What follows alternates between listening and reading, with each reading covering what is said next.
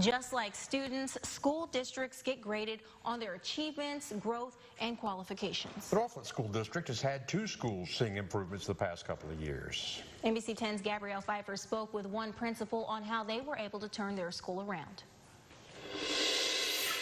The Arkansas Department of Education released district-wide report cards for the past school year. The Norphlet Elementary School has made some gains since the last report, going from a D to a C. We um, noticed what students needed to have um, in order to support them and provide early interventions, and that way they can improve their academic growth and their achievement for our school year. They attribute that awareness to being more data-driven. Teachers document how their students are performing so that they are meeting students' specific needs. So we wanted to make sure that the data was driving our instruction and that we were looking at the data every week in grade level meetings to support our students. All grade levels at the elementary school are focusing heavily on literacy. Oakwind believes tackling reading first will impact other subject areas. We knew that it would um, really help in improving our students' achievement. This is Oakwind's second year as principal. While she uh -huh. believes yes, focusing on data improves scores,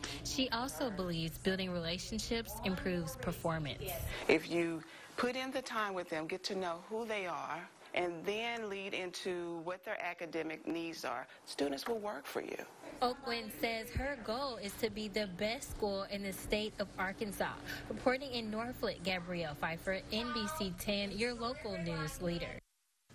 The middle school also saw improvements, bringing its grade up to a C from a D. Parents can see how their child's school ranks at our website. That's myarklamiss.com.